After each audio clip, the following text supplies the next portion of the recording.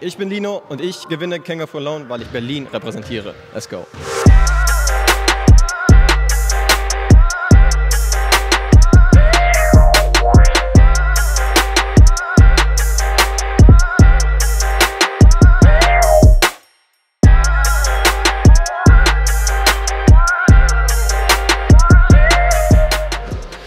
Wir sind zurück mit dem nächsten Baller der Creator Edition und ihr kennt Lino bereits, wenn ihr hier gut aufgepasst habt oder ihm sowieso schon folgt. Lino NBA redet auch über die NBA, ist natürlich Creator für euch und Lino, muss ich sagen, kommt ganz stabil daher. Ich war ja auch schon mal mit ihm in der Halle, äh, das sieht schon ganz gut aus, was du da auf dem Feld machst. Ähm, wie würdest du dich selber so einschätzen, wenn du jetzt die ein oder anderen auch schon mal vielleicht auf Social Media gesehen hast oder so? Wie sind deine Erwartungen? Puh, erstmal habe ich auf jeden Fall Bock, hier richtig Spaß zu haben. Meine Spielweise würde ich äh, so als defensiv stark und was die Offense angeht, gerne Crossover, gerne ein paar coole Layups oder sowas würde ich so bezeichnen. Und ja, im Vergleich zu den anderen kann ich es nicht so wirklich einschätzen, aber die anderen haben auf jeden Fall auch Game. Insofern habe ich richtig Bock. Richtig nice. Wir gucken kurz auf deine Player Card. Ähm, du bist auf jeden Fall ähm, ja, mittendrin, sowohl was die Größe angeht, was das Alter angeht. Ähm, gut in Shape auch. Du hast Oberliga gespielt oder spielst gerade Oberliga. Ähm, und dein Crossover, du hast schon erwähnt, ist so dein Go-To-Move. Ähm, was ist es für ein Crossover? Ist es so ein Iverson-Crossover tief? Ist es der Push-Cross oben? Mit was für einem Crossover wirst du äh, uns und die Leute zu Hause beglücken?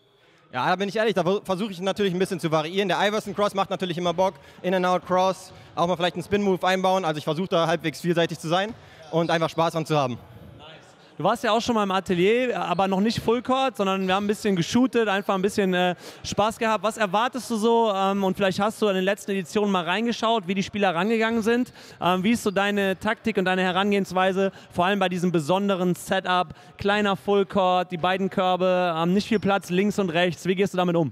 Ja, ich habe mich auf jeden Fall darauf eingestellt, dass es intensiv wird, dass es schon ein Up and Down wird, auch wenn der Court jetzt nicht so riesig ist. Aber dann muss ich auch zusehen, die anderen sind schon relativ körperlich unterwegs, haben auch ein paar Kilo auf der, auf der Waage. Insofern vielleicht die Schnelligkeit aus, ausspielen und äh, in der Defense mit den Händen aktiv sein, vielleicht da mal einen Stil erwischen.